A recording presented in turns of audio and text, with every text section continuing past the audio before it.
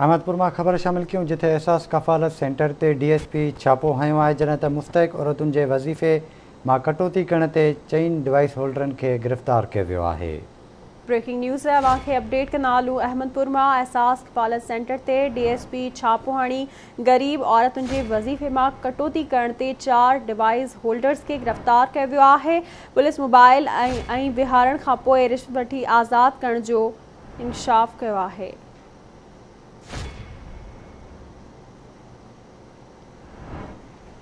अव्हांखे अपडेट कंदा हलूं ब्रेकिंग न्यूज़ आहे त ग़रीब औरतुनि जे वज़ीफ़े मां कटौती करण ते चार डिवाइस होल्डर्स खे पुलिस गिरफ़्तार करे वरितो आहे पुलिस मोबाइल में विहारण खां पोइ रिश्वत वठी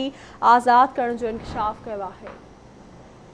तफ़सील मालूम कंदासीं अहमदपुर मां आवाज़ टीवी जे रिपोर्टर अब्दुल रज़ाक कलोड़ो खां जी अब्दुल रज़ाक कहिड़ा अपडेट्स आहिनि जी बिल्कुलु गुज़िरियल ॾींहुं डीएसपी प्रेजो गौड़ सैद उतार अली जा आमदपुर में क़ाइमु हाई स्कूल में जेको एहसास कफ़ालत सेंटर आहे हुनजो उहिदो छापो हणी मुस्तक औरतुनि जे वज़ीफ़े मां जेका कटौती कनि पिया डिवाइस होल्डर वटां जेको आहे सो ॿ सौ शनख़्त कार्ड बि हथु कया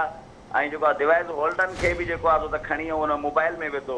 ऐं उन खां बाद में जेको आहे सो त वरी उन्हनि खे माना मोबाइल मां लाहे ऐं उन्हनि सां जेको आहे सो त डील करण जो इंकशाफ़ थियो आहे ऐं उन हवाले सां जेको आहे सो त जेके इलाइक़े वासियुनि उन्हनि जो सॼो माना लॻा ॾिठो आहे उते बीह करे त डी एस पी माना उन्हनि खे कटौती जे इल्ज़ाम हेठि मोबाइल में खणी विहारण खां बाद में ऐं जेको आहे सो त उन्हनि खे छॾे ॾिनो आहे जी